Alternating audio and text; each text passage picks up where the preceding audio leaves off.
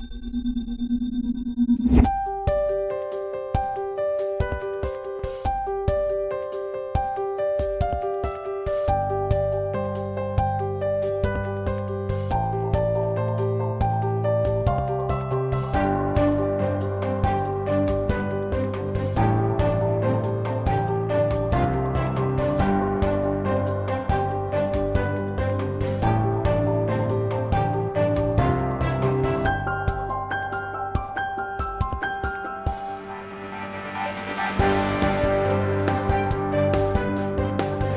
And we're super excited about the fact that in just a few short months, we will have travel from Toronto to Daytona Beach and Daytona Beach to Toronto. So thank you so much.